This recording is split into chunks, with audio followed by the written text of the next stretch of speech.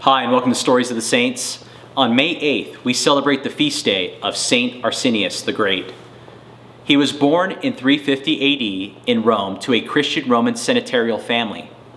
After his parents died, his sister was admitted to the community of virgins, and he gave all their riches to the poor and lived an ascetic life. Arsenius became famous for his righteousness and wisdom. Arsenius is said to have been made a deacon by the Pope, who recommended him to meet the Byzantine Emperor Theodosius the Great, who had a request the Emperor and Pope around 383 to find him a tutor for his sons. Arsenius was chosen on the basis of being a man well read in Greek literature.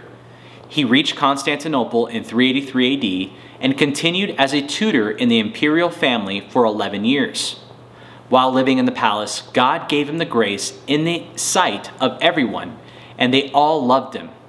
He lived a lavish life in the palace, but all the time felt a growing inclination to renounce the world. One day he was praying and said, O oh God, teach me how to be saved. And God's voice came to him through the gospel For what is a man profited if he shall gain the whole world and lose his own soul? He left Constantinople and came by sea to Alexandria and fled into the wilderness.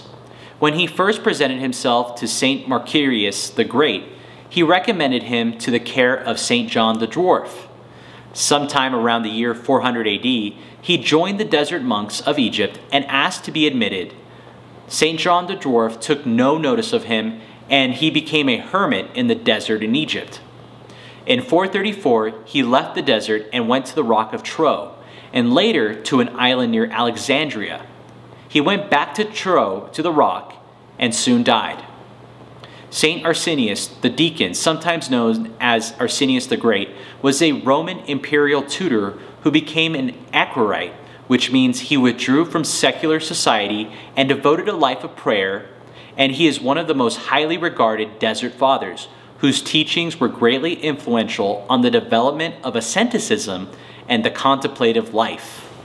If you like this video about St. Arsenius the Great, please press the like button. And if you'd like to learn more about the saints, please feel free to subscribe to our YouTube channel. If you want to become a premium member and watch cinematic movies about the saints, just go to thechristianchannel.com and support us by subscribing to our yearly streaming service on your smart TV. Thank you for watching, and God bless.